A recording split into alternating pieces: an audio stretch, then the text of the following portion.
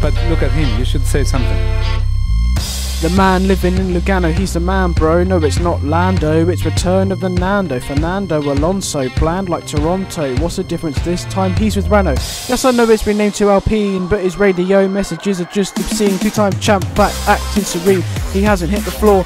We're coming for P4, don't worry, he's not much slower than before. He won't stop to greatness, you better rate this. Been stopping dominance since the Greek Summer Olympic.